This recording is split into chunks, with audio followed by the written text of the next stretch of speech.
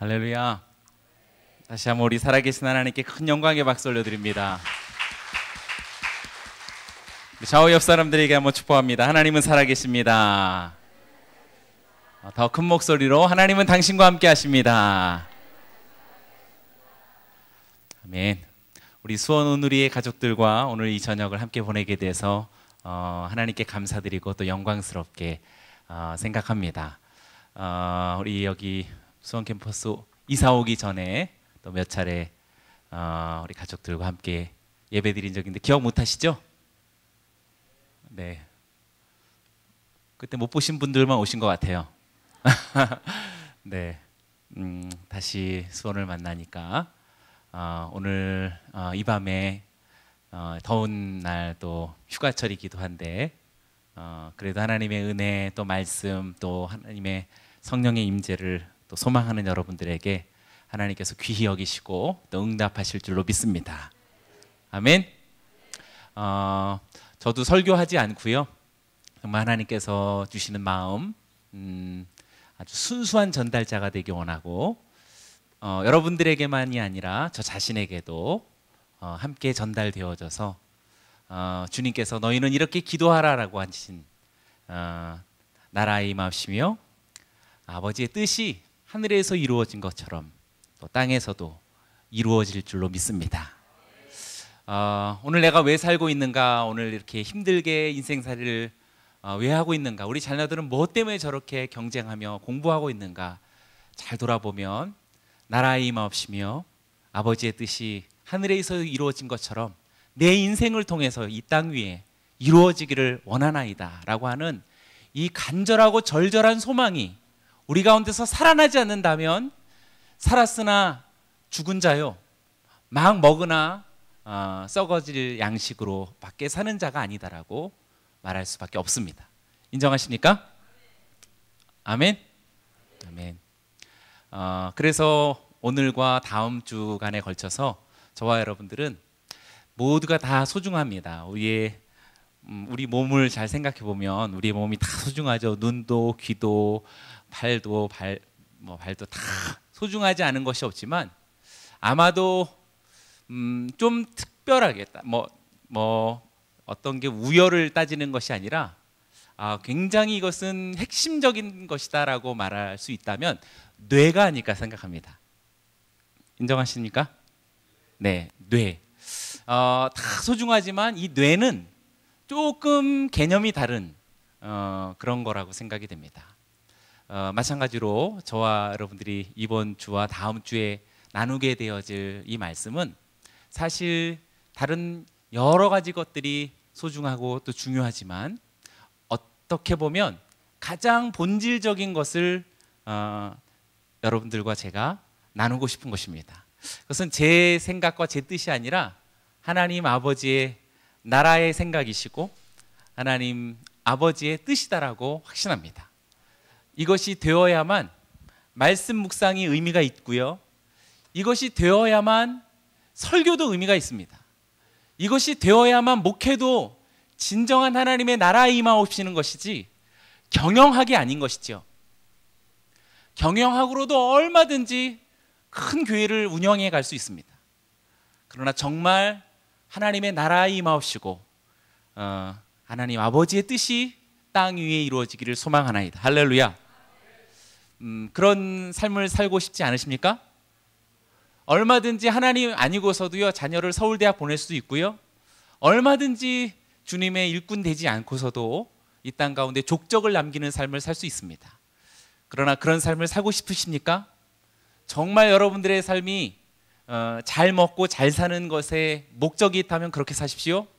그러나 내 뇌가 정말 살아있는 나는 짐승이 아니라 정말 하나님의 창조물로서의 인간이요 영혼을 갖고 있는 존재다라고 생각한다면 저는 여러분들의 영혼이 살아 있어야 하고 여러분들의 뇌가 아, 이제 본질적인 것이 살아 있게 되기를 주의 이름으로 축복합니다. 그래야만 기도도 의미가 있고 찬송도 의미가 있고 목회와 설교도 의미가 있고 성경 묵상과 큐티와 일대일도 더더욱 그 의미를 이루어가게 되지요. 없이도 할 수 있습니다. 충분히 할 수 있습니다. 얼마든지 없이도요 가야바와 안나스도 있었습니다. 없이도 얼마든지 십자가에 못 박으라라고 이야기했던 그런 함성이 있었다라는 사실을 잘 기억해 보면 마지막 시대로 흘러가고 있는 저와 여러분들의 오늘 어, 그리고 다음 주 음, 오늘 이 부분을 음, 저와 여러분들이 그냥 여러 번의 중에 한 번으로서의 수요 예배 아, 오늘이 뭐 특별하다라고 하기보다는 매일 그렇게 특별하게 되기를 주의 이름으로 축복합니다. 여러분 사랑해요. 아, 아우 여기 역시 성령 충만하신 격려의 박수 부탁드립니다. 네, 아, 여러분들 정말 그 사랑하고요. 어, 오늘 행복하고 기쁜 마음으로 하나님 아버지께로 나아갔으면 좋겠습니다. 저도 이런 소망함을 갖고 있지만 그러나 우리 우리의 본성이 참 이렇게 어, 교묘하고 우리를 둘러싸고 있는 어, 이 세상이 사실 우리가 생각하는 것보다도 어, 더 험난한 영적으로 험난한 길이다라고 생각됩니다. 그래서 조금이라도 깨어 있지 않는다면 사실 어, 우리의 마음과 영이 사실 깨어 있는 것 같지만 아주 깊은 잠에 빠져 있고 그리고 인식하고 감각하고 있는 것 같지만 굉장히 오래된 문둥병자와 같다라고 할 수 있지요. 그래서 오늘 이 밤을 통해서 저와 여러분들이 살아나고 어, 목회자로서의 저도 계속해서 사꾼이 되라 사꾼이 되라고 속삭이고 있는 어, 내 본성과 또 세속의 어, 이런 어, 풍조 속에서 휘말리지 않고 영유해 갈 수 있는 어, 그런 목회자요. 또 여러분 어, 우리 귀한 믿음의 동역자이시기를 주의 이름으로 축복합니다. 할렐루야.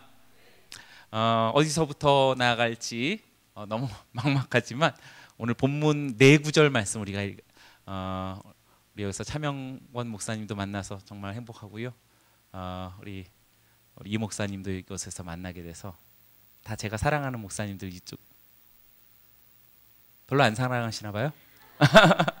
네, 사랑하는 목사님들 어, 이곳에서 만나서 얼마나 반가운지 모릅니다. 네 구절 말씀만 우리가 잘 묵상하고 어, 여러분들의 골수에 사무치게 되기를 축복합니다. 근데 이 네 구절만 하지 않고요. 이 네 구절과 연관되어진 음, 여러 구절들을 어, 좀 빠른 속도로 저와 여러분들이 말씀을 통해서 함께 자막을 잘 봐주십시오. 같이 나아갔으면 좋겠습니다. 먼저 우리 본문 어, 2장 사도행전 2장 1절 말씀 우리 본문을 한번 같이 읽어보겠습니다. 시작. 저희가 다 같이 한 곳에 모였더니 우리가 잘 아는 오순절 성령 강림이라라고 일컬어지는 어, 이 어, 사건이 지금 사도행전 2장 1절에서 소개되고 있습니다. 어, 우리 하 목사님께서 사도행전적 바로 그 교회를 어, 너무나 열망하셨을 뿐만 아니라 어, 나는 목숨을 걸었다, 난 선교에 목숨을 걸었다라고 하는 어, 그 슬로건도 사실상 여기에서부터 출발한 것이라고 어, 말할 수 있겠습니다. 음, 어, 어떻게 보면 오늘의 교회가 지금 어, 이런 흐름 가운데 거대하게 흘러갈 수 있게 되었던 어, 어떤 전적인 전환점이 지금 여기서 읽었던 이 말씀을 아마 하와이에서 우리 하 목사님께서 아주 깊은 영감을 통해 귀국하셔가지고 오늘의 교회를 아주 뿌리부터 새롭게 했다라는 것을 어, 보게 됩니다. 오늘 본문 말씀을 보니 이 성령 강림의 역사가 오순절날에 이르렀다라고 이야기합니다. 그 표현을 이미 이름에라고 이야기합니다. 그래서 단순히 오순절날을 이야기하지 않고 오랫동안 기다렸던 것이 완전히 그때가 됐다라고 하는 표현으로 이미 이르다라고 이야기했습니다. 옆 사람들에게 이미 이르렀습니다. 음, 특별히 어, 어떤 하나님의 역사가 그냥 아무 때나 있지 않았고 어, 오순절 날이 오랫동안 기다려왔던 어떤 날이 비로소 바야흐로 지금에 어, 이르렀다라고 하는 어, 이 오순절을 특별히 강조하고 있기에 저와 여러분들이 오늘 이 저녁에 오순절을 조금 더 어, 묵상해 보았으면 좋겠습니다. 음, 오순절은 절기 중에 하나지요. 근데 이 절기는 사실 굉장히 중요한 의미를 갖습니다. 절기 속에 하나님의 계획이 있고 절기 속에 하나님의 뜻이 있습니다. 또 절기 속에 우리가 아까 보았던 인생의 목적도 있고 또 살아가는 의미도 그곳에 다 담겨 있고 우리들의 미래도 여기 있다라고 말할 수 있겠습니다. 왜냐하면 보십시오. 출애굽기 5장 1절의 말씀을 보면 어, 우리가 그 이유를 잘 알 수 있습니다. 같이 한번 읽어보겠습니다. 시작. 모세와 아론이 바로에게 가서 이르되 이스라엘의 하나님 여호와께서 이렇게 말씀하시기를 내 백성을 보내라. 그러면 그들이 광야에서 내 앞에 절기를 지킬 것이라 하였나이다. 네. 어, 굉장히 성령 충만하신 것 같아요. 네. 하나님께서 모세와 아론을 바로에게 가서 보내며 이렇게 말하고 선포하라라고 가르쳐 주십니다. 그것은 바로 출애굽 어, 내 백성을 출애굽 시키겠다라는 이야기인데 어, 출애굽이 목적이 아니라 분명한 목적이 지금 5장 1절에서 나타나고 있지요.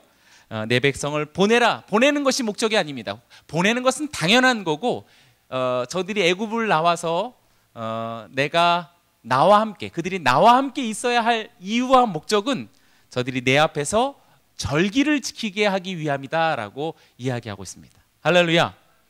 어, 그냥 율법 중에 여러 가지로서의 절기가 아니라 사실 어, 절기는 예, 이 피스트거든요. 그러니까 어떤 축제지요. 그러니까 잔치입니다. 그래서 요한복음 2장에 사흘째 되던 날 하면서 가나의 혼인 잔치가 시작이 되죠. 네.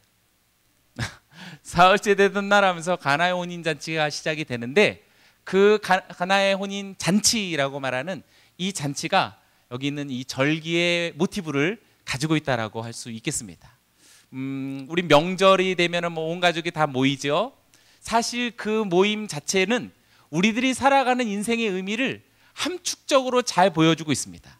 어, 우리 모든 가족들이 서로 다 모여서 함께 떡을 대고 덕담을 나누고 서로의 안부를 묻고 축복하고 블레싱하고 서로 절하고 어, 이런 어, 온전한 어떤 가정의 어, 완성을 보여주는 하나의 이 상징이 어, 명절이지요.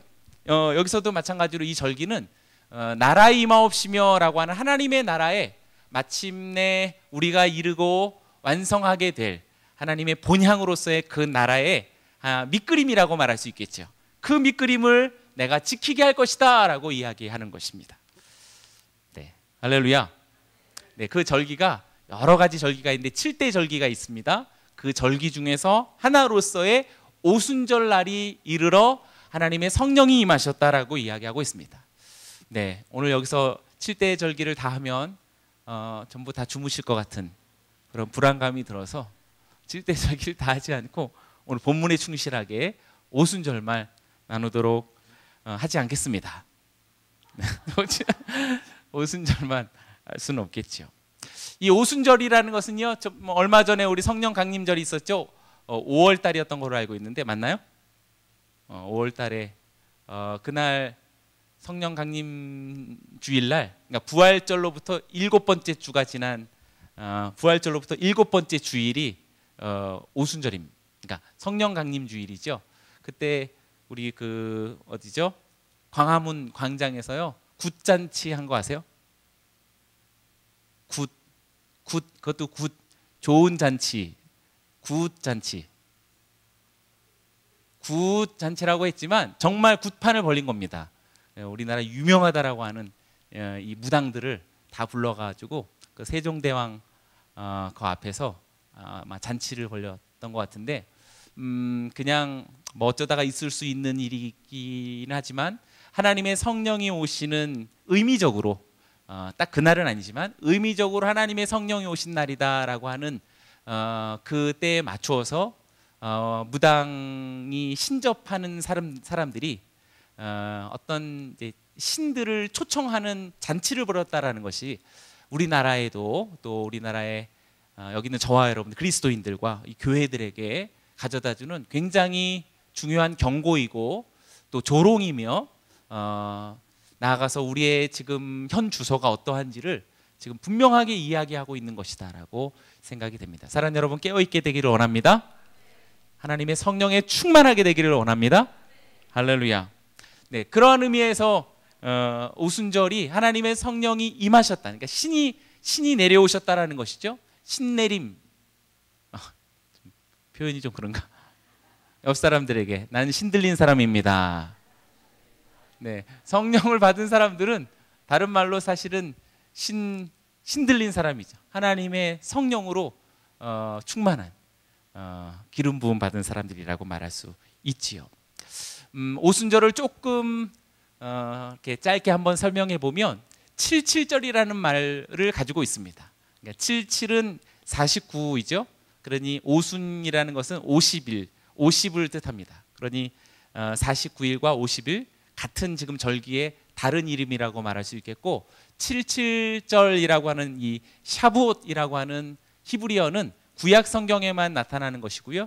오순절이라고 하는 어, 펜타코스테스라고 하는 어, 이 헬라어는 신약 성경에만 나옵니다. 그러니까 오순절은 어, 이 구약 성경에는 없습니다. 그러니까 구약적인 말로서는 77절이라고 하고 신약적인 말로서는 오순절이라고 하는 거죠. 사랑해요. 네. 네. 이해 잘 되시죠? 오늘만 기억해 주시면 좋겠습니다. 네. 어, 이 어, 77절 또는 오순절이라는 것은 초실절 제사를 드리고 난 이후부터 40일까지의 기간 전체를 가리킵니다. 다시 9일까지의 기간 전체를 가리킵니다. 그러니까 일곱 주간 동안의 어, 시간을 이야기하죠. 어디로부터 시작해서 초실절 뭐라고요? 초실절로부터 네, 49일간 동안의 기간을 어, 77절이라고 이야기합니다. 다시 한번요. 어디로부터 시작해서 초실절로 시작해서부터 며칠 동안 49일 동안의 절기를 77절이라고 합니다. 그래서 77절은 어떤 하루를 이야기하지 않고요. 이 49일 전체를 이야기하는 거라고 말할 수 있어요. 여러분 보통 불교나 보통 유교에서부터 나온 거지만 이 49제 아시죠? 49제. 49제 혹시 들으시는 분 계세요? 네, 그러면 안 돼요. 49제라는 건 뭐냐면 이 죽은 자의 영혼이 지금 떠다니고 있어요. 이렇게 떠다니고 있어서 좋은 곳에 가라고. 좋은 곳에 가라고 제사를 잘 드려 잘 드리면 좋은 곳에 가고 잘 드리지 않으면 나쁜 곳에 가고 나쁜 이제 이상한 말 이렇게 아주 벌레로 태어나고 뭐, 뭐 이런다라는 거죠. 그러니 제사를 극진하게 잘 드려라라고 하는 것이 49제, 49일째 되는 날에 제사를 드립니다. 근데 사실 이 밑그림이 어, 사실 성서로부터 저는 온 것이라고 어떤 사람 반대로 이야기하지만 저는 틀림없이 성서로부터 기원되었고 하나님으로부터 파생되었던 이 아류들이라고 말할 수 있겠습니다. 어, 패러디하는 거죠. 여러분 무슬림도 다 유대교 카피한 거 아시죠? 네, 코란, 꾸란도 다 성서를 카피하고 어, 그리고 마호멧은 정말 이 유대인들에 대한 아주 아주 깊은 열등감, 유대인들에 대한 열등감 또 저들의 이길 수 없는 그 어, 그거죠. 그것으로 인해서 나름대로의 자기의 어떤 저항, 저항 의식을 어, 이렇게 만들어내는 그 총체가 어, 바로 무슬림이라고 말할 수 있습니다. 그래서 언제나 카피하는 것은 음, 이제 무섭습니다. 저 요한계시록 저 끝에 가 보면 음, 이제 용을 타고 있는 음녀가 어, 금잔을 들고 그 금잔 안에 어, 피로 가득한 마치 성찬을 하는 듯이 사람들에게 마시우고 자기도 먹고 어, 깊이 취했다라고 이야기하죠. 그래서 어, 요한계시록 곳곳에서 하나님의 거룩한 것들을 어, 패러디하고 있는 땅에서 올라온 짐승, 바다에서 올라온 짐승, 그리고 어, 음녀와 용들 어, 이런 모습들 속에서 하나님을 카피하고 있는 모습을 이렇게 보게 되지요.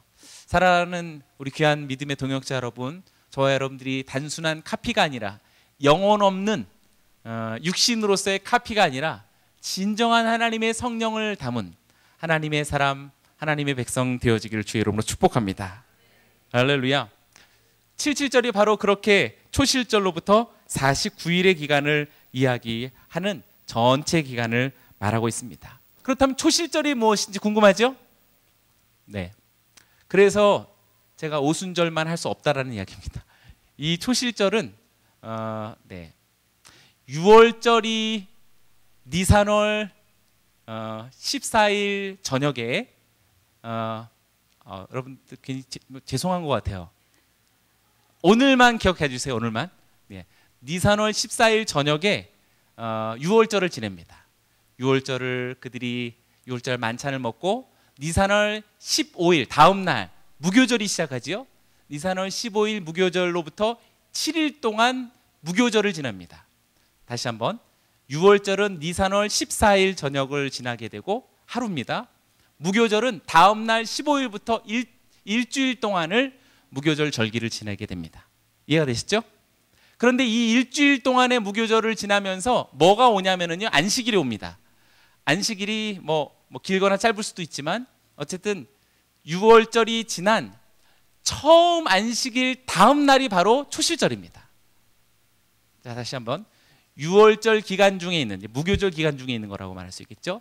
6월절 기간 중에 있는 처음 만나는 안식일 다음 날이 바로 어, 새벽에 하나님께서 제정하게 하셨던 초실절이라고 말할 수 있죠. 어, 뭔가 지금 이 구약을 이야기하고 있는데 신약에 뭔가 굉장히 비슷하죠. 여러분들 마음속에 막 뭐가 막 떠오르고 있다라는 것을 제가 틀림없이 느낄 수 있겠습니다. 어, 6월절과 무교절에 하나님께서 특별히 제사의 제정으로서 어, 네, 제사의 어떤 방법을 이야기해 주신 것이 있는데 6월절과 무교절에 관해서 이야기하지 않고요. 딱 이 초실절에 관해서 이야기해 준 것이 있습니다. 그것이 레위기 20 아, 어, 레위기 23장 5절로부터 6절까지의 말씀 한번 읽어 볼까요? 5절로부터 6절 시작. 안 나오나요? 네. 예레미 아닌데. 레위기 23장 5절에서 6절 말씀. 순서대로 드렸을 텐데. 네, 제가 읽어 드릴게요.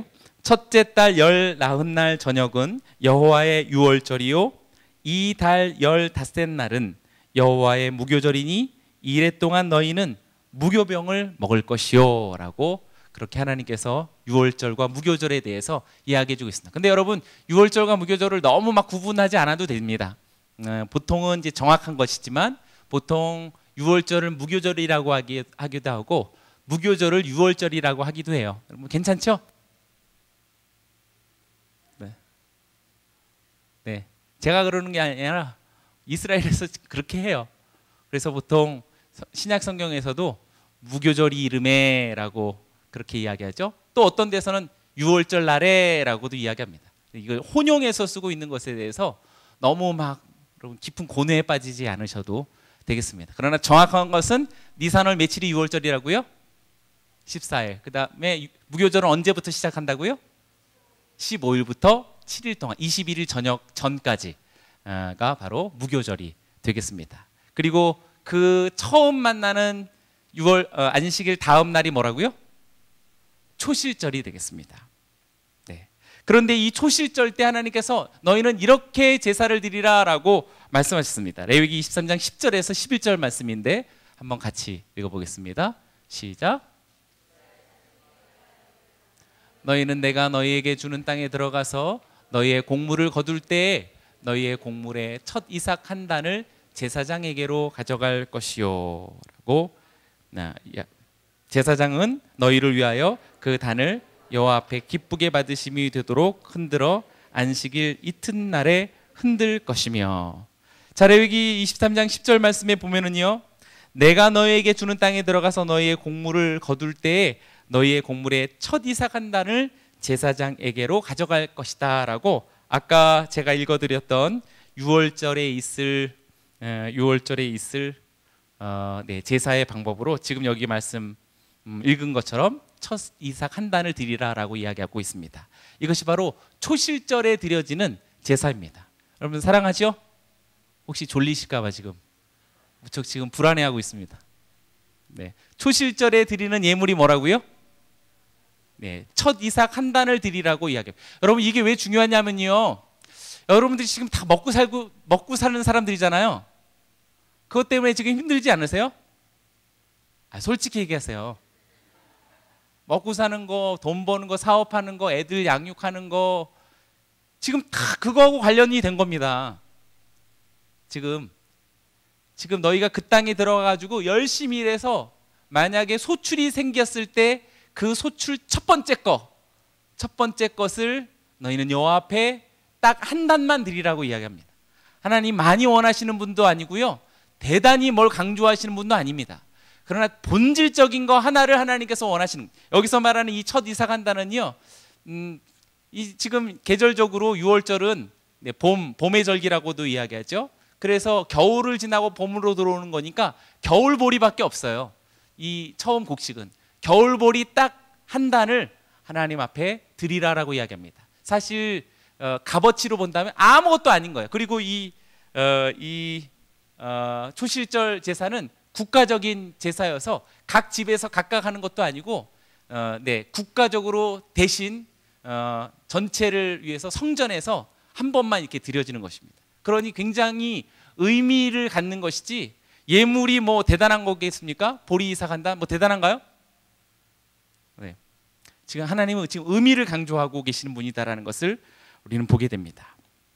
이것을 가리켜서 초실절 제물이라고 이야기하는데 초실절이라고 하는 첫 열매를 뜻하는 비코르라는 비, 비코림이라고 하는 초실절이라는 말은 네, 이 첫 열매라는 의미를 가지고 있습니다. 옆 사람들에게 첫 열매입니다. 어, 히브리적인 개념에서 초실절은 이스라엘 땅에서 이스라엘 백성이 심어서 거두게 된 모든 소산물의 첫 것을 이야기하는데 초실절 제사의 대표성을 지닌 이 제사로 성전에서만 딱 한 번 드려졌던 새벽에 그것도 딱 한 번만 드려졌던 어, 이 제사는 니사오날 14일 날 저녁에 6월절 만찬을 먹은 다음 첫 번째 안식일을 지나 그 다음 날 새벽 그러니 딱 지금 보면은요 우리 부활절하고 지금 어, 딱이 맞는 거죠. 지금 이거 제가 신약을 읽는 게 아니고요. 어, 아직 출애굽도 하기 전 하나님께서 지금 출애굽하기 직전에 어, 모세에게 들려주셨던 말씀입니다. 허, 멋있죠? 멋있다고 일단 얘기해 주세요. 아 제가 아니라 말씀. 저도 멋있다고 해주. 네. 어 너무 멋있지 않나요? 다 보리 한 단 안식일 다음 날 이 모든 것이요 그냥 복잡한 무슨 뭐 율법 뭐, 뭐 복잡 이게 아니라 사실 하나님의 이 거대한 나라의 뜻과 하나님의 생각에 어, 아주 1.1도 변함없이 그리스도 예수를 통해서 성취하게 되시고 되게 되고 또 성령의 오심을 통해서 그 의미를 이루어가게 된다는 거죠. 할렐루야. 얼마나 멋있어요. 하나님이 만군의 여호와 하나님이라면 보리 한 200단은 드려라. 이 정도 해야 되지 않겠어요?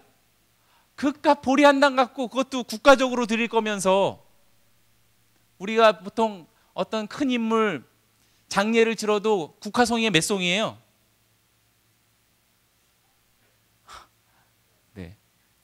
아주 높은 분들이면 더, 더 대단하죠. 근데 하나님은 딱 보리 한 단을 드리라고 옆 사람들에게 하나님 너무 멋있습니다. 6월절은 6월절 어린 양이 되신 예수 그리스도를 상징하기에 당연히 이첫 어, 첫 이삭 한 단이 누구를 뜻하는지 대본에 지금 아시죠? 예수 그리스도를 의미합니다. 하, 보리 보리 한 단 예수님, 네, 보리 한 단밖에 되지 않는 예수님이시죠. 그 이렇게 멋있는 신이 어디 있다고 나와보라 그러세요. 이렇게 멋있는 신앙이 어디 있는지, 이렇게 멋있는 하나님이 어디 있는지 나와보라 그러세요. 아, 너무 좀 제가 모든 이스라엘 안에서 거둔 곡식의 첫 열매를 대표해서 드리던 예물은 보리였고 초실절 제물은 항상 보리로 드려졌습니다. 처음 것이 하나님의 것이다라고 하는 의미는 굉장히 중요한 의미를 가지고 있습니다. 옆 사람들에게 처음 것은 다 하나님의 것입니다. 사랑 여러분 지금 제가 뇌를 얘기하자 그랬어요. 지금 처음 것 그래가지고 여러분들 아 무조건 막 율법적으로 지금 다가가면 안 됩니다. 본질적인 것을 이야기하는 거죠. 처음 것이 도대체 중요한 이유가 뭔가라고 한다면 그래서 여러분들 이제 앞으로 월삭도 여러분들 잘 드려야겠죠. 매일 뭐 이렇게 지금 8월이니까 이제 9월 첫째 날 되면 여러분들이 8월 마지막 날만 돼도 여러분들의 마음 안에서 사실 무엇인가가 이렇게 좀 살아 있어야 됩니다. 아, 내일이 9월의 첫날이지. 그럼 이 첫날은 뭐 대단히 무슨 뭐 율법적인 그런 어, 종교 행위를 하는 것이 아니라 어, 내 생각에 9월에 살게 될 모든 날들의 이 첫날을 특별히 하나님 앞에 예배드리고 싶다라는 마음으로 나가는 거죠. 할렐루야. 그것이 뭐 한 시간이 됐든 아니면 사정상 10분이 됐든 마음의 본질 이 뇌를 얘기하는 것이지 뭐 지금 뭐 주일 성수를 해라 11조를 반드시 해라 뭐 이런 걸 얘기하는 거 아니에요. 지금 딱 그 순간으로 돌아가면서 다시 어, 뇌가 살아나다가 다시 죽어버리는 거죠. 음. 네. 저도 내 인생의 처음 것을 하나님 앞에 드리라라고 하는 것은 굉장히 중요한 의미를 가지고 있습니다. 별거 아닌 것 같아도요. 여기서부터 우리의 삶의 향방이 나뉘어지는 것입니다. 우리의 얼굴빛이 나뉘어지는 거라고 저는 확신합니다. 확신하고 확신합니다. 아, 그거 뭐, 뭐, 뭐 당연한 거 아니야 라고 하지만 아닌 게 아닙니다. 제가 뭐, 말, 무슨 말한 게 맞는 건지 틀린 건지 잘 모르겠죠. 네. 달라요. 여러분들의 얼굴만 보아도 알고요. 그 사람의 눈빛만 봐도 알 수 있습니다. 내 살아있는 영혼의 양심이 살아있는지 아닌지는 분명히 하나님 앞에서 나 자신이 알 수가 있습니다. 사랑하는 여러분, 저와 여러분들이 여러분들의 인생의 처음 것을 하나님 것이다라고 하는 위대한 선언이 매일매일 성취되기를 주님의 이름으로 축복합니다. 벽에 걸려져 있는 그냥 문구로서 죽어 있는 슬로건이 아니라 지금도 심장이 벌떡벌떡 하듯이 내 인생의 모든 첫 것은 다 하나님의 것이다라고 말할 수 있는 이 절대 주권이 하나님께 이양되게 되기를 원합니다. 그렇게 된다면 여러분들의 직장, 여러분들의 진로, 여러분들의 미래, 여러분들의 자녀, 여러분들의 가정, 여러분들의 모든 좌우명들이 다시 재편성될 수밖에 없는 거지요. 이것이 설정이 되지 않으니 명목상의 문구는 있는데 사실 맥박이 뛰는 것처럼 살아있는 것이 되지 않는 거죠. 그러니 그것은 기만이라고 말할 수 있지요. 말로는 인정하는데 마음과 진정성으로는 따르지 않는 거죠. 이것이 율법 율법주의이지요. 우리가 이것으로 얼마든지 신앙생활하고 이 중에도 사실은 적지 않게 그 길을 따라가고 앞으로 계속 갈 것이요 절대 이 길에서 머물러 가 네, 돌아가지 않겠다라고 말할 수 있는 사람은 한 사람도 없는 줄로 믿습니다. 반응이 조금 그래서 여러분 어, 우리 출애굽기를 보면 그 맥락을 잘 이해할 수 있습니다. 출애굽기 12장부터 그냥 간단하게 말씀드릴게요. 6월절과 장자 죽음과 출애굽이 있었던 장이 출애굽기 19장 12장이에요. 출애굽기 12장에 6월절을 어, 하나님께서 말씀하시고 그 다음에 장자 죽음이 있습니다. 엄청난 재앙이 있죠. 그리고 이스라엘 비로소 출애굽합니다. 출애굽하게 되면서 하나님께서 너희는 이렇게 영원히 어, 6월절을 지키라라고 하면서 규례를 주십니다. 아, 멋있어. 하, 여러분 양심이 있으세요. 멋있다고 해주세요. 하, 멋있다고 하셔야 되는 거예요. 빰빠밤 빠바바밤 빠밤 주말의 영화 엑소더스 네 웅장하잖아요. 네, 출애굽기 12장 어, 다음이 이제 출애굽기 14장 13장인데 출애굽기 13장에서 출애굽한 다음에 무슨 내용을 하나님께서 출애굽기에 실으냐면은요.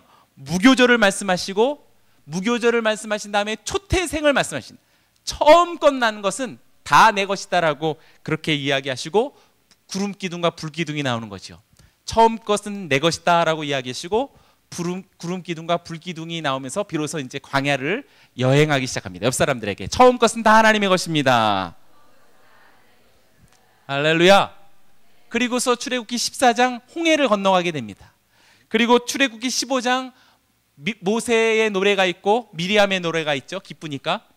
그리고 출애굽기 16장에서 만나와 메추라기를 보내시죠. 먹을 것 없다고 하니까 먹는 문제로 나옵니다. 그다음에 먹고 마실 것이니까 마실 문제가 나오겠죠. 그러니까 물 없다 물 없다 하니까는 출애굽기 17장에서 반석 샘물이 나옵니다. 반석 반석을 터뜨려 샘물이 터집니다. 그리고 또 17장이 끝나기 전에 원수가 찾아오네요. 그 누구예요? 아말렉입니다. 아말렉.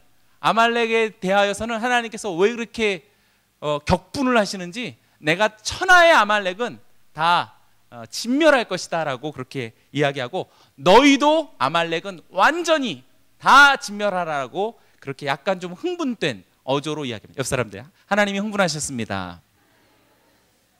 어, 흥분하셨습니다. 여러분, 아말렉에 대해서 하나님이 조금 특별히 흥분하신 거 아시죠? 네. 자, 지금 제가 지금 이걸 이걸 왜 했냐면은요. 출애굽기 12장부터 17장이 아말렉 전투가 있고 18장에 이제 끼어 들어온 장인데 이드로가 방문해서 이 전체 조직을 어떻게 할 것인지 백부장, 천부장 뭐 이런 조직이 생겨나게 됩니다. 그래서 이거는 좀 부록이라고 말할 수 있겠고요. 그래서 출애굽기 다음 장으로 넘어가면 19장인데 19장에서 드디어 하나님께서 신의 산에 강림하십니다. 하, 이거, 여러분 표정 왜 그러세요? 지금 강림하셨는데 하나님이 강림하시는 거죠. 자, 출애굽기 12장부터 19장까지 제가 이렇게 짧게 왜 얘기를 했냐면은요. 출애굽했습니다. 그리고 하나님이 강림하세요. 이 사이에 벌어지고 있는 일들을 이야기한 겁니다. 이 사이에 벌어지고 있는 일들을 잘 보면 첫 것은 하나님 것이다. 구름 기둥과 불 기둥을 해서 광야를 막 여행하기 시작합니다. 광야를 막 여행하기 시작하는데 대본에 뭐가 와요? 네, 뭐 홍해도 만났지만 어, 어쨌든 홍해를 건넙니다. 홍해를 건너서 노래도 부르지요. 모세의 노래, 미리암의 노래도 있습니다. 감격합니다. 그러나 조금 얼마 지나지 않아서 어쩔 수 없이 우리는 먹고 살아야 되는 존재이기에 먹을 게 없으니까 불평합니다. 그래서 만나와 외출하기를 보내주고 마실 게 없으니까 또 반석에서 샘물이 터지게 됩니다. 그리고 때 아닌 정말 예상치도 못한 원수의 대적이 찾아오는 것이지요. 이것이 다 우리의 인생살이를 이야기해주고 있는데 이 과정 가운데서 하나님이 반드시 우리를 지키신다라는 것이요. 목적은 그것을 살아내는 것이 목적이 아니라 사실상 여기 출애굽기 19장 하나님을 만나는 데 하나님의 뜻이 있다라는 것을 인정하시나요? 네, 아말렉을 싸워서 이기는 것도 네 물론 네 반석 샘물 만드시는 것도 네 물론 좋은 일이요, 어, 감격스러운 일이요, 어 그것은 뭐 간증할 만한 일입니다. 그러나 목적 자체가 되지 않아요. 지금 반석 샘물 터트리려고 출애굽했나요? 만나와 메추라기 먹으려고 출애굽했나요? 아말렉 이기려고 출애굽했나요? 아니요, 이것은 여정 가운데 있는 것이지요. 우리가 가는 여정 가운데 있고 목적은 뭐예요? 신의 산에서 하나님을 만나는 것입니다. 옆 사람들 하나님을 만나는 것입니다. 여러분들이 신앙을 잘 살펴보기 원합니다. 여러분의 삶도 잘 돌아보게 되기 원합니다. 삶 자체가 목적이 되어진다면 우상입니다. 여러분들의 가정 자체가 목적이 되어지고 사업 자체가 목적이 되어진다면 뭔가 하나님의 나라 임하옵시고 아버지의 뜻이 하늘에서 이루어진 것처럼 땅에서도 이루어지기를 원하나이다라고 우리는 그렇게 기도하고 있지 않는 거지요. 여러분들의 인생 여정을 잘 살펴보시고 우리가 궁극으로 무엇을 바라고 있는 것인지 돌아보게 되기 원합니다. 그래야만 우리의 기도가 달라지고 예배가 달라질 수밖에 없지요. 도대체 왜 가는 건지도 모르고 무엇 때문인지도 알지 못하기에 그냥 척박한 길이 나오면 괴로운 것이고 이 힘이 없으니까 목적의식이 없으니까 버텨낼 수 있는 어떤 자신감도 있지 않습니다.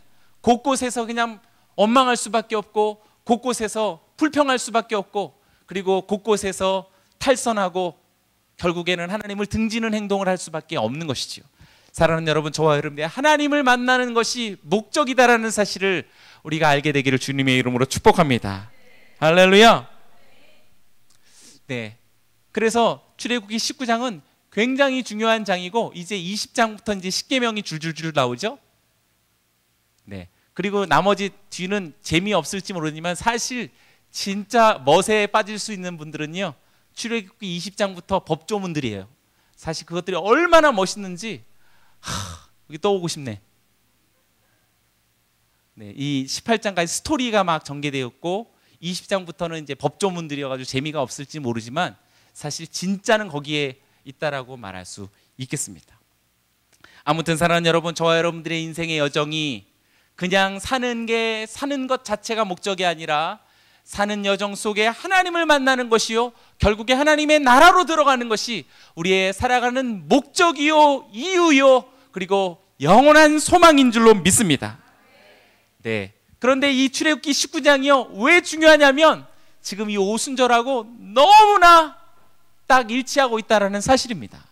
그래서 지금 이렇게 길게 얘기한 것이죠. 이해해 주실 수 있죠?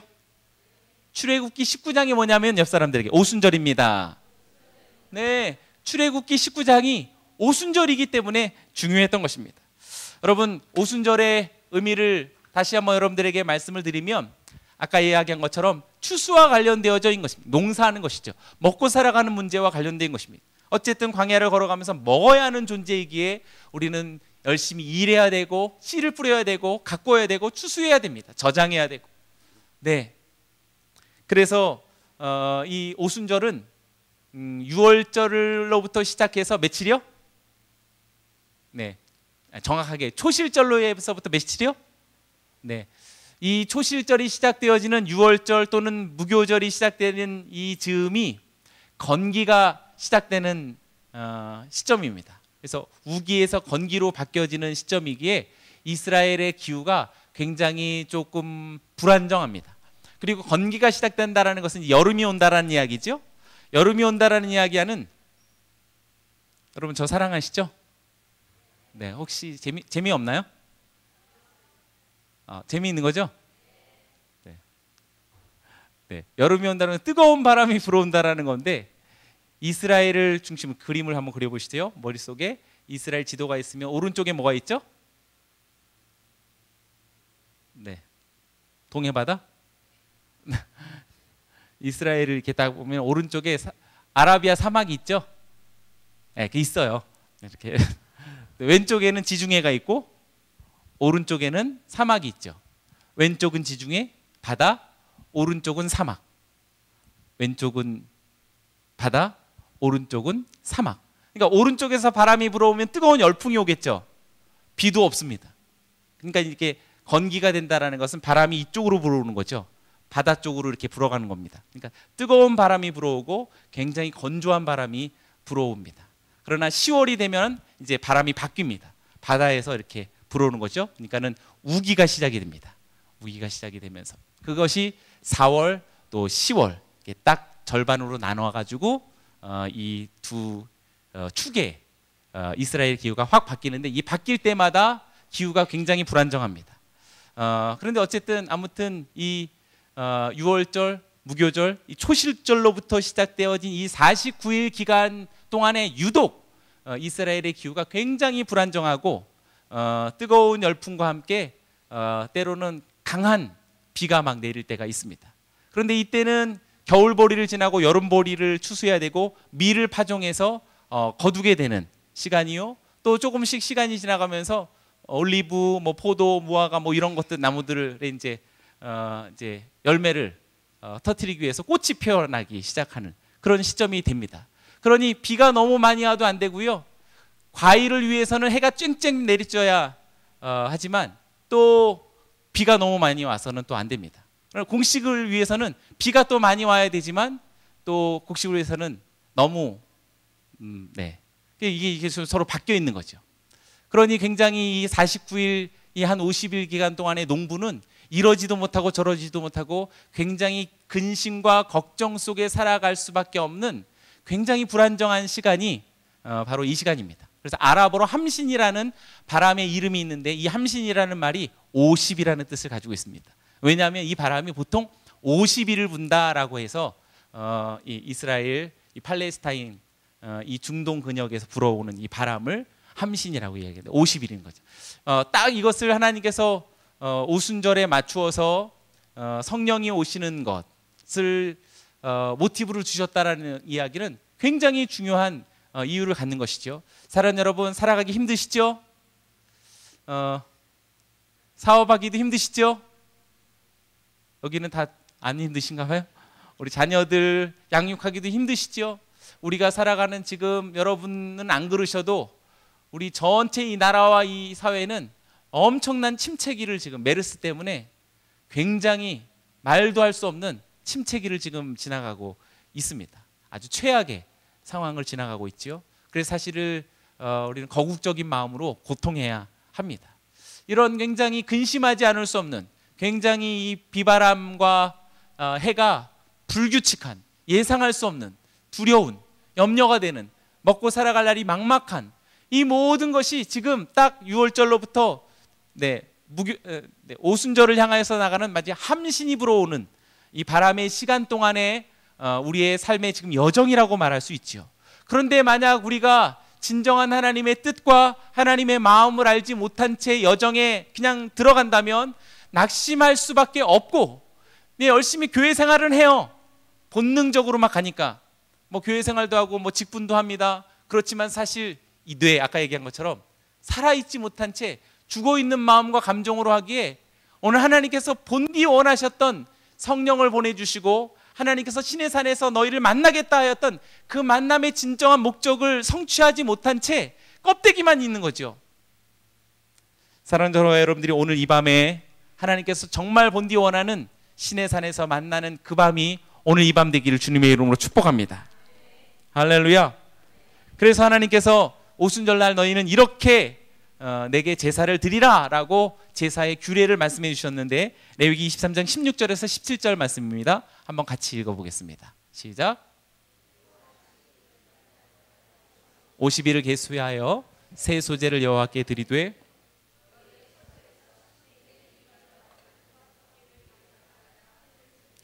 이는 고운 가루에 누룩을 넣어서 구운 것이요 이는 첫 요제로 여호와께 드리는 것이며 보십시오 16절 한번 띄워 주시죠. 16절을 보면 일곱 안식일 이튿날까지 합하여 일곱 안식일 이튿날까지 합하여 50일을 계수하여 새 소재를 여호와께 드리되. 자 언제부터 이튿날까지 합하라는 얘기였다고요? 아니 아니 아까 아까. 네.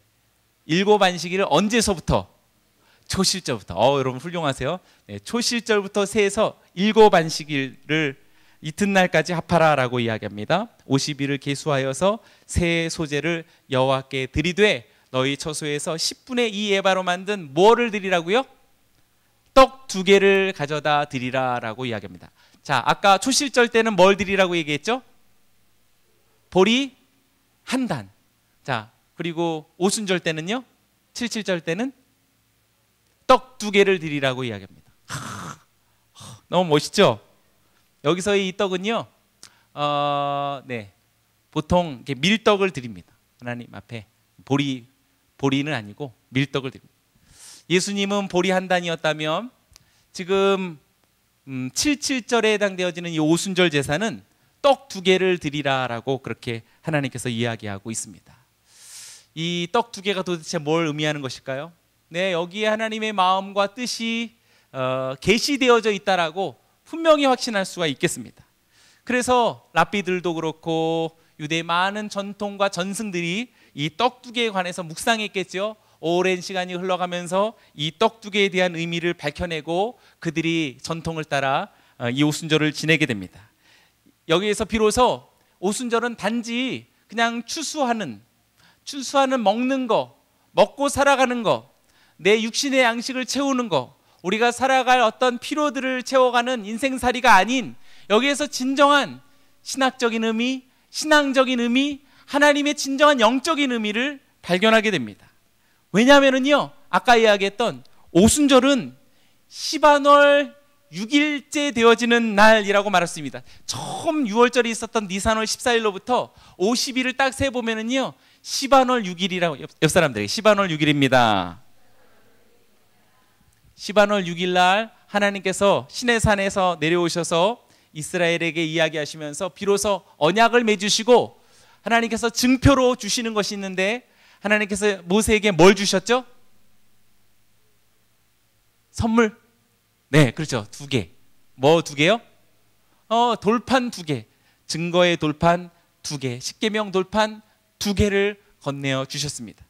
딱 지금 그것을 하나님께서 의미하신 거라고 말할 수 있죠. 그래서 보통 하나님이 너희는 재단에 이것을 바치라고 얘기했을 때는 우리가 하나님 앞에 뭘 드리는 것이 아니라 사실 하나님께서 우리에게 주시기 위한 것을 드리게 하시라 어, 하셨던 것이라고 말할 수 있어요. 그래서 보리 한 단도 사실 예수 그리스도를 우리가 의미하는 것이라면 하나님이 그 아들 독생자를 우리에게 주시는 거죠.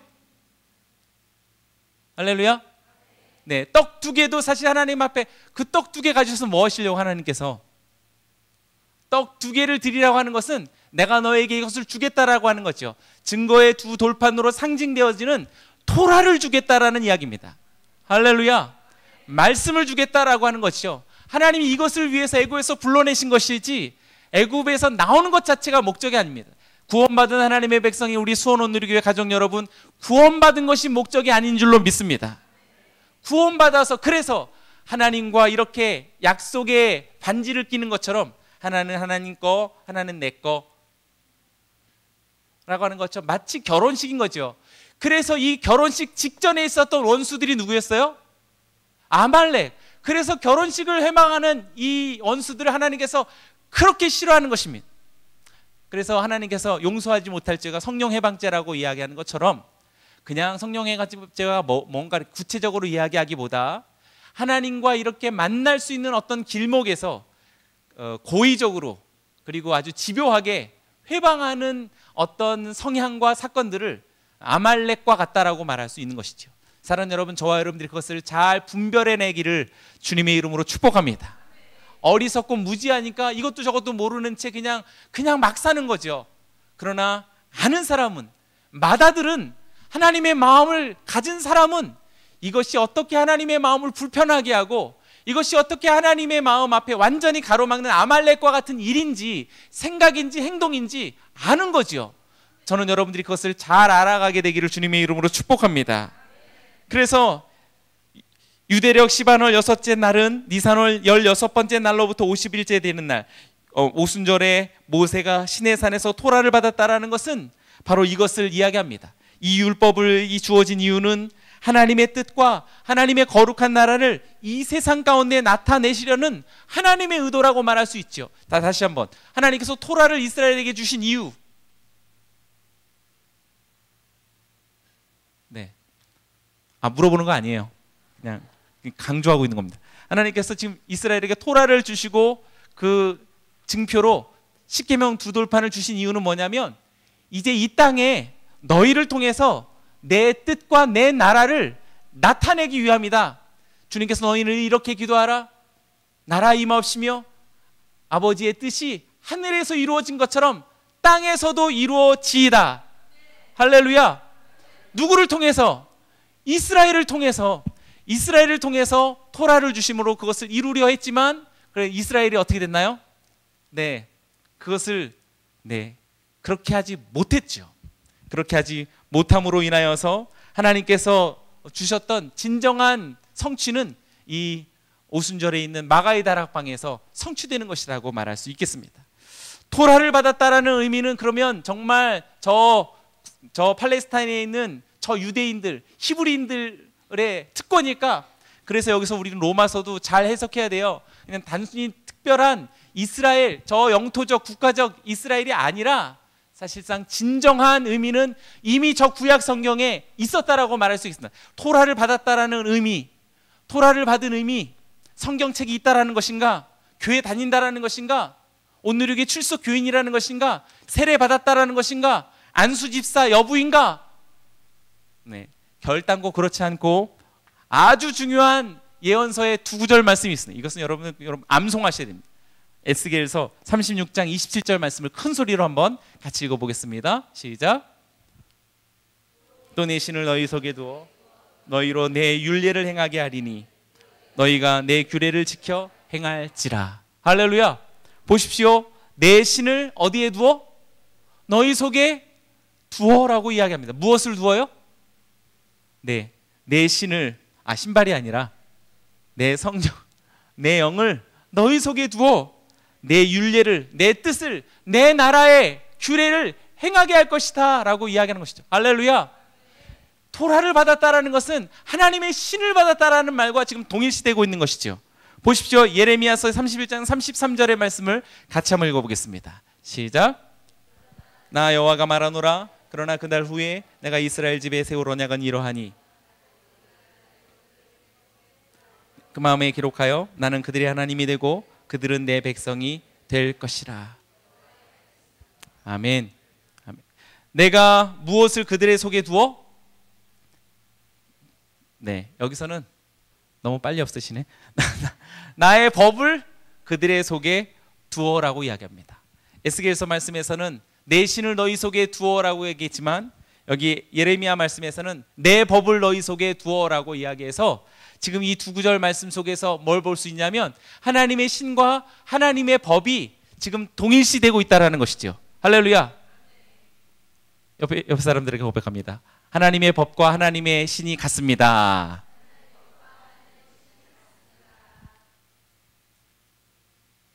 재미 재미 있으셔야 되는데. 네. 하나님의 신과 하나님의 법이 같은 의미로 막 혼용되고 있는 것이지요. 그래서 토라를 받았다라는 의미가 지금 무엇을 의미하는 것인지 지금 거슬러 거슬러 지금 우리 네 구절을 우리가 함께 나누려고 지금 여기까지 온 거예요. 오순절 날 성령이 임하셨다라는 것이 무엇을 의미하는 것인지 이미 저 출애굽 시대에 모세를 통해서 우리가 표본과 같이 우리가 이렇게 볼 수 있고 관찰할 수 있고 묵상할 수 있었다라는 사실이지요. 오순절 성령 강림은 세상 가운데 하나님의 뜻을 드러내려는 새로운 이스라엘의 출현 탄생과 같다라고 말할 수 있겠습니다. 오순절에 성령을 받은 사람들은 옛날 모세의 시대의 토라를 받음으로 인해서 세상에 하나님의 뜻을 하나님의 나라를 알리기 위해서 선택되어졌던 이스라엘과 같은 의미에서 새 이스라엘이 되기 위해 오순절 날 성령이 임하셨다라는 라고 말할 수 있는 것이죠. 할렐루야. 옆 사람들에게 당신이 새 이스라엘입니다. 여러분들이 새 이스라엘입니다. 믿으십니까? 우리가 새 이스라엘인 것이지요. 다만 그냥 그냥 교회를 다녀서 새 이스라엘이 아니라 오늘 여기 시내산에 있었던 이 명장면처럼 마치 마가의 다락방에 있었던 그 명장면이 여러분들의 삶에서 진정한 여러분 것이 되어지지 않는다면 않는다면 그냥 명목상 이스라엘이요. 그냥 명목상 새 이스라엘이라고밖에 말할 수 없습니다. 아까 얘기했습니다. 사랑하는 여러분, 저와 여러분들이 이 뇌가 살아 있고 우리의 본질이 살아 있는 신앙인이요 하나님의 백성이요 주의 자녀가 되기를 주의 이름으로 축복합니다. 뭐 어떤 일이 있었는지 사도행전 2장 2절에서 4절 말씀 한번 큰 목소리로 같이 읽어보겠습니다. 이제 빨리 나가겠습니다. 시작. 호련히 하늘로부터 급하고 강한 바람 같은 소리가 있어 저희 앉은 온 집에 가득하며 불의 혀같이 갈라지는 것이 저희에게 보여 각 사람 위에 임하여 있더니 저희가 다 성령의 충만함을 받고 성령이 말하게 하심을 따라 다른 방언으로 말하기 시작하니라. 아멘. 우리 목사님께서 봉독해 주신 말씀의 두 2절부터 4절까지의 말씀입니다. 너무나 유명한 이 초월적인 장면은 단순히 기이한 어떤 현상을 이야기하는 것이 아닙니다. 그래서 아주 짧은 시간이지만 지금 2절부터 4절에 나타나는 이 현상에 대해서 그러나 현상이 아닌 진정한 의미, 진정한 이 사건의 본질을 저와 여러분들의 신앙을 깨어나게 하는 오늘 이 마지막 묵상이 되기를 축복합니다. 시반월 6일에 있었던 네, 니산월 14일로부터 네, 그걸 금요일이라고 보면은요. 네, 그냥 복잡하지 않게 14일 6월절 금요일, 15일 토요일, 16일 주일이었죠. 그러니까 그 초실절이죠. 그러니 지금 오늘날로 이야기하면 뭐예요? 부활절 새벽인 거죠. 네. 네, 사랑해요. 네. 그래서 그들이 출애굽한 이후 지금 딱 50일째 되어지는 어, 날 이틀 전날 시반월 제 4일 날 그들이 시내 광야에 도착합니다. 시내 광야에 도착해서 하나님께서 모세를 만나십니다.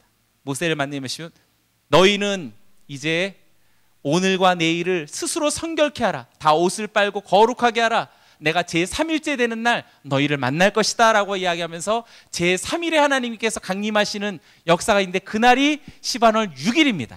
이 시반월 6일이 정확하게 50일 되어진 날. 어, 사랑하는 여러분, 성령 강림이 이래서 중요한 거예요. 저와 여러분들이 다 성령 강림 오순절 날이 어, 우리에게 임하는 그것이 오늘 시반월 6일째 되는 날 신의 산에 강림한 하나님을 만나는 날 되기를 주님의 이름으로 축복합니다. 출애굽기 19장 16절 말씀 그것이 이야기해 주고 있죠. 19장 16절 같이 읽어 봅니다. 시작. 우리의 hom개와 빽빽한 구름이 산 위에 있고 나팔 소리가 매우 크게 들리니 진중에 있는 모든 백성이 다 떨더라. 사랑 여러분, 오순절 마가의 다락방에 있었던 세 가지 사건 중 첫 번째 것이 호련히 하늘로부터 급하고 강한 바람 같은 소리가 쉬 있었던 거죠. 온방 안에 가득했다고 얘기합니다. 쉬, 쉬 하는 소리가 한 사람도 남김없이 들렸던 거죠.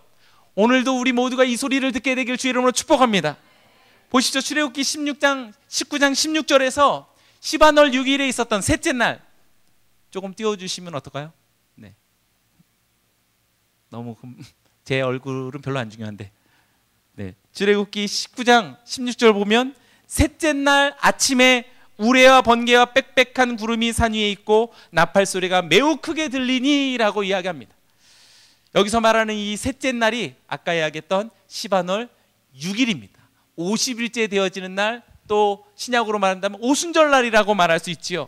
시내 광야에 도착한 시바놀 4일로부터 셋째 날이고 초실절로부터 정확히 50일째 되는 시간입니다. 그때 어떤 소리가 있었지요? 무슨 소리가 크게 들려요? 나팔 소리가 매우 크게 들리니라고 이야기합니다. 그래서 보통 음, 네, 정군 나팔 소리로도 있고 한뭐 무슨 나팔 소리 크게 진동할 때라고 이야기하죠. 찬송하죠. 나팔 소리는요 굉장히 의미 있는 어, 그런 하늘의 사건을 이야기할 때 이 나팔 소리를 이야기합니다. 급하고 강한 바람 소리도 역시 마찬가지입니다. 사랑 여러분 이 소리는 결코 땅의 소리가 아니다라는 이야기입니다. 할렐루야. 지금 이후로부터 하늘의 사건이 이루어진 것이지 땅에서의 어떤 움직임이 아니다라는 사실을 이야기합니다. 하나님께서 신의 산에 강림하신 것도 나팔 소리와 함께 강림하신 것은 땅에 있는 어떤 깨달음이 아니라는 거지요. 아, 땅에서 어떤 공부했더니 깨닫게 된, 어, 지금 무슨 뭐 학위를 했더니 뭔가 이제, 이제야 알게 되어진 어떤 깨달음이 아니다라는 것입니다. 사랑하는 여러분, 성령의 사건은 위로부터 오는 것인 줄로 믿습니다. 할렐루야. 저와 여러분들의 성령 사건이 많은 공부를 통해서 많은 뭐 학업을 통해서 지식을 통해서 여러분의 그 비범한 똑똑함을 통해서 이루어지는 것이 아니라 오직 하늘로부터 내려오는 하늘의 사건인 줄로 믿습니다. 전적으로 하늘에서 강림하는 사건이 오늘 이 밤에도 여러분에게 이루어지기를 주님의 이름으로 축복합니다. 우리 모두가 이 소리를 듣게 되기 원합니다. 이 소리를 듣지 못한다면 사실상 묵상도 묵상한 것이지만 사실 제대로 묵상한 것이라고 말할 수 없습니다. 기도한 것도 역시 이 소리를 듣지 못한다면 우리가 많은 시간 기도했어도 사실상 진짜 기도한 것이 아니라고 말할 수 있어요. 여러분 보세요. 지금 모세가 그들을 만나 하나님을 만나고 있는 것과 지금 다른 무리들이 지금 두려워해 가지고 모세가 대신하고 숨어 버렸죠. 네, 그렇거든요. 네. 우리들의 신앙의 지금 향방이 지금 이렇게 갈릴 수 있다라는 것을 저는 이야기합니다. 저는 여러분들이 이 소리, 이 급하고 강한 바람 같은 소리, 하늘로부터 오는 이 나팔 소리, 번개와 내성과 진동과 같은 이 소리를 들을 수 있는 영의 귀가 열리고 우리의 마음의 문이 열리게 되기를 주의 이름으로 축복합니다. 이 바람 소리를 듣고 하나님의 생기가 불어오는 소리를 듣는다면 바로 에스겔이 들었던 에스겔이 보았던 마른 뼈가 일어났던 그 환상과 같지 않겠습니까? 보십시오. 에스겔서 37장 9절에서 10절 말씀 제가 큰 목소리로 읽어보겠습니다. 또 내게 이르되 인자야 너는 생기를 향하여 대언하라 생기에게 대언하여 이르기를 주여 와께서 이같이 말씀하시기를 생기야 사방에서부터 와서 이 죽음을 당한 자에게 불어, 불어서 살아나게 하라 하셨다 하라 이에 내가 그 명령대로 대원하였던 이 생기가 그들에게 들어가며 그들이 곧 살아나서 일어나는 서는데 극히 큰 군대더라 할렐루야 사랑하는 여러분, 이 모습, 이 그림, 이 환상이 다 여러분들의 실상이 되어지기를 주님의 이름으로 축복합니다. 죽은 것들이 다 살아나는 것이지요. 죽어있던 뼈들이 움직이기 시작합니다. 서로 짝을 맞추기 시작합니다. 뼛속에 힘줄이 생겨나기 시작합니다. 살이 생기고 핏줄이 생기고 가죽이 입혀집니다. 군대와 같이 일어나기 시작합니다. 성령의 바람이 불어온 것입니다. 할렐루야. 저와 여러분들에게도 성령의 바람이 불어온다면 죽어 있는 우리 내면이 살아나지 않을 수 없고 우리가 맨날 활자만 보고 있었던 검은 글씨만 보고 있었던 우리의 눈동자가 하나님의 놀라운 영적 시야를 갖게 된다라고 저는 믿습니다. 매일매일 변덕이 심하던 우리의 내면도 우리의 감정으로 인해 가지고 왜곡되어진 우리의 이 본성도 하나님의 성령이 오심으로 인해서 이 생기가 불어옴으로 인해서 죽어 있었던 왜곡되어 있었던 우리의 모든 영성이 다 온전한 생명의 군대로 일어나게 될 줄로 믿습니다. 할렐루야. 이 소리가 저희 온 집에 가득했다라고 이야기합니다. 이 안에 있었던 사람들의 낡은 공기와 채취들이 새로운 공기와 그리고 바람과 숨결과 생명으로 가득했다라고 말할 수 있는 것이지요. 사랑하는 여러분, 공기가 다르고 분위기가 다르고 얼굴빛이 다릅니다. 저는 여러분들이 오늘로부터 얼굴빛이 완전히 달라지기를 주 이름으로 축복합니다. 옆 사람들의 얼굴을 쳐다보십시오. 당신의 얼굴을 보기만 해도 알겠습니다. 하나님은 죽은 자의 하나님이 아니요 산 자의 하나님이신 줄로 믿습니다. 저는 여러분들이 이와 같이 정말 하나님을 생생히 이 생기가 되신 바람 소리를 듣고 여러분들의 영혼이 감각할 수 있고 여러분들이 반응할 수 있게 되기를 주님의 이름으로 축복합니다. 출애굽을 일으키시기 전에 하나님께서 모세에게 나가 내가 아브라함과 이삭과 야곱에게는 전능하신 하나님이라고 말하였지만 그들에게 여호와라고는 말하지 아니하였나니 내가 이제로부터 야훼라고 하리라 하나님께서 이름을 바꾸시는 거 아세요? 우리 보통 내가 뭐 하면 뭘 간다라고 해요? 네, 성을 간다고 하나님이 이름을 바꾸시는 분이 출애굽을 통해서 이름을 바꾸십니다. 내가 이제 야훼라고 하리라 구원자라는 이야기입니다. 내가 너에게 구원자가 될 것이다. 내가 엘로힘 하나님만이 아니라 야훼가 될 것이다라고 하나님께서 장을 지질 것이다라고 말하듯이 그렇게 선언을 하는 것입니다. 어, 하나님의 이 압도적인 자기 결심, 자기 의지, 분노에 가까운 하나님의 이 어마어마한 자기 선언 앞에 뭐 그러세요? 그러시든죠. 이렇게 반응할 수 있을까요? 지금 이름을 바꾸고 계신 하나님이에요.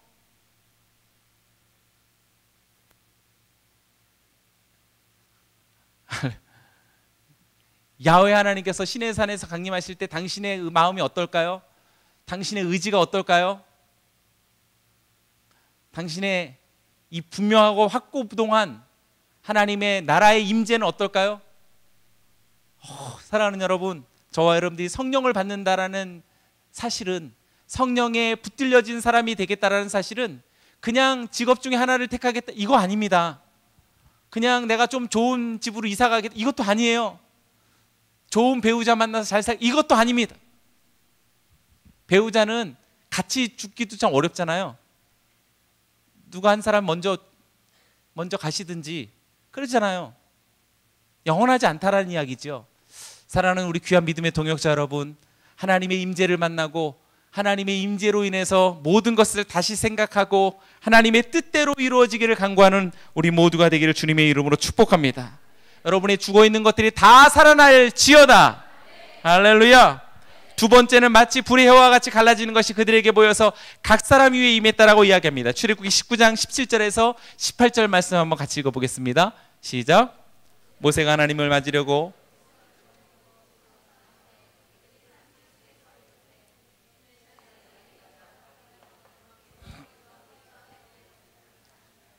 그 연기가 온기 가마 연기같이 떠오르고 온 산이 크게 진동하며 자 하나님께서 신의 산에 임하는데 무엇 가운데 거기 강림하셨다라고 이야기합니까?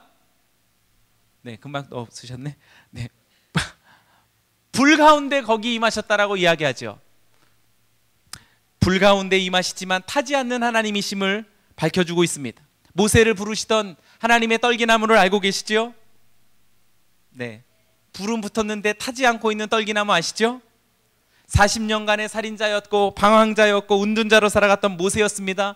좌절과 고독과 소외와 절망 어떻게 보면 그냥 사는 게 사는 거다라고 그냥 어쩔 수 없이 사는 광야에 있었던 모세라고 말할 수 있겠어요? 그에게 불이 나타나서 모세를 부르기 시작합니다. 가까이 다가가서 보니 모세야 모세야라고 하는 소리를 듣기 시작합니다. 사랑하는 여러분, 성령의 불은 우리의 인생을 진실로 끌어당기고 우리 인생을 다시 한번 시작하게 만드는 하나님의 압도적이고 역사적인 방문이요, 초청이요, 또 선포요, 파송인 줄로 믿습니다. 저는 여러분들이 이 성령의 불을 만나게 되기를 주님의 이름으로 축복합니다.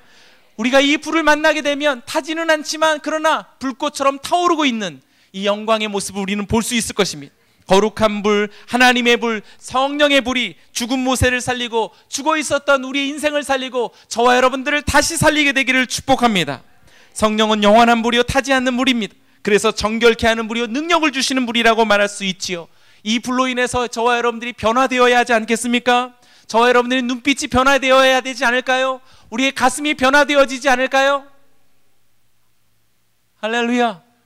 어, 그래야만 재직을 해도 순조직을 해도 그냥 정치적으로 하지 않고요.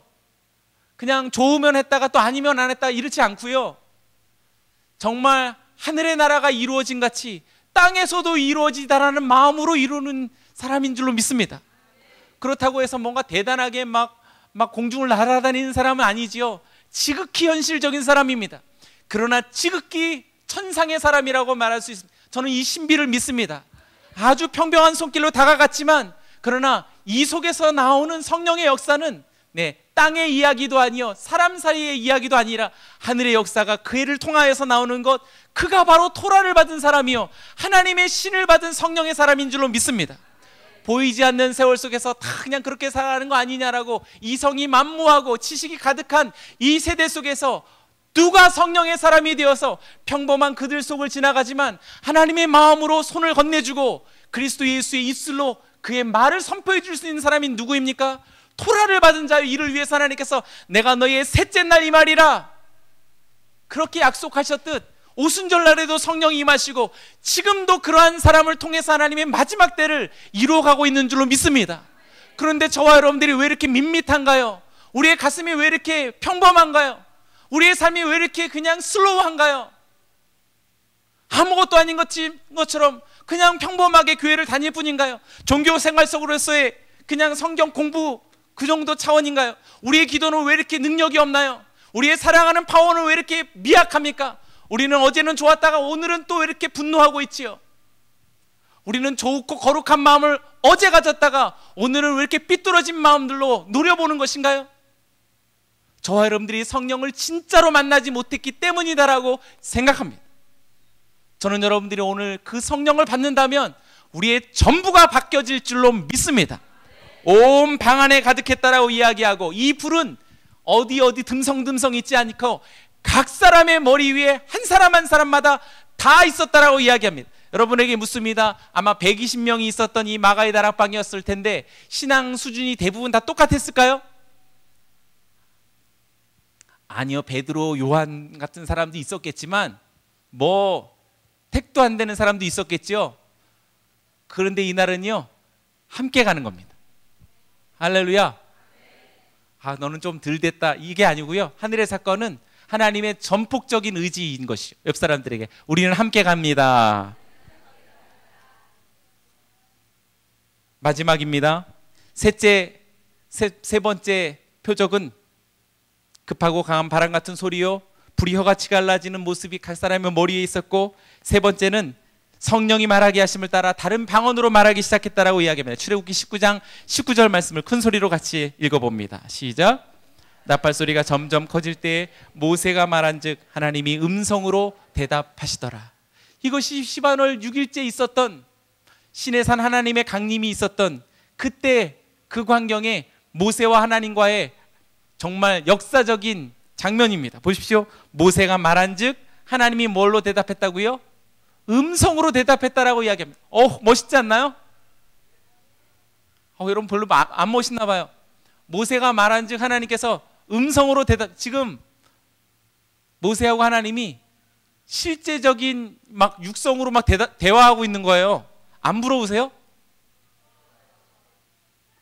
별로 부러워하는 것 같지도 않고 별로 사모하지도 않고 여러분들의 지금 신앙생활이 그냥 굉장히 전통적인 이런 종교 생활에 굉장히 익숙해져 있어서 이런 부분들에 대해서 별로 신뢰하지 그냥 아 이게 영적으로 그런 거지. 아 물론 영적으로 그렇죠. 그런 정말 그런가 스스로가 물어보시고 스스로가 답해 보시기 바랍니다.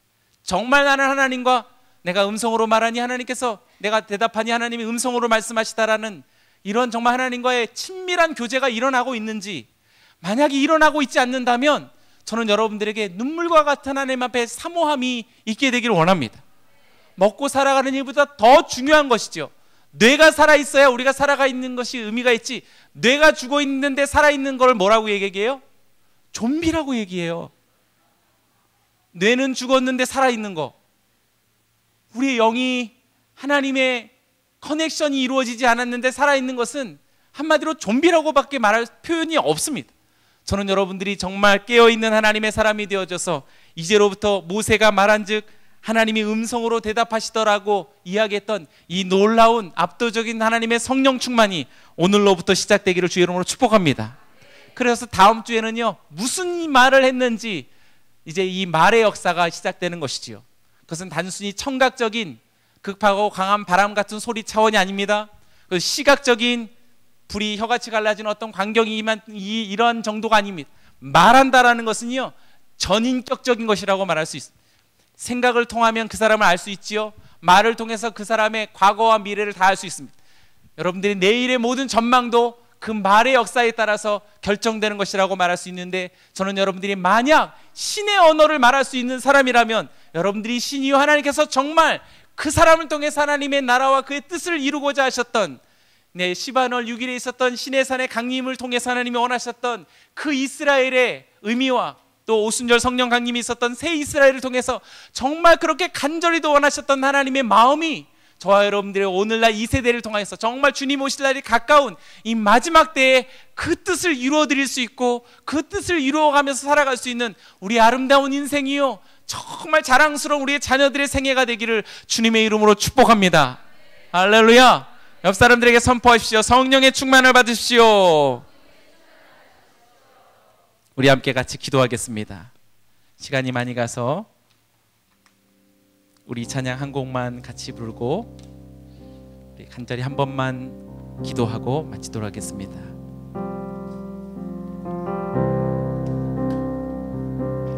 주께 가까이 날 이끄소서 우리가 아까 불렀던 찬양인데 목마른 내 영혼에 간절한 사모함에 심령 속에 성령을 부으사 하나님의 놀라운 기름 부으심으로 새 이스라엘 되게 하시고 하나님의 나라가 이루어지며 주님의 뜻이 이 땅 위에 이루어지게 하여 주시옵소서. 이 시간 우리 함께 같이 찬양하며 나아갑니다. 주께 가까이 나를 이끄소서